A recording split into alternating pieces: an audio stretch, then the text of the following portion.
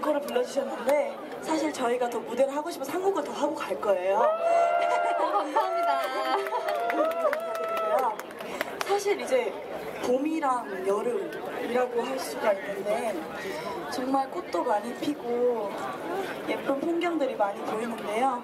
가장 아름다운 풍경은 이렇게 저희 무대를 열심히 즐겨주시는 여러분들이 아닌가 싶습니다. 오늘 이렇게 무대 같이 즐겨주셔서 감사하고요. 어, 오늘 캠페인도 열심히 잘 소화하시고 또 건강하게 다치지 않게 하셨으면 좋겠습니다. 너무너무 감사드리고요. 마지막으로 부탁이 하나 있어요, 여러분. 이제 달리기 전에 에너지를 모아야 되잖아요. 제가 소리 질러 하면은 시원하게 소리 지르고 화이팅 하는 거예요. 알겠죠? 소리 질러!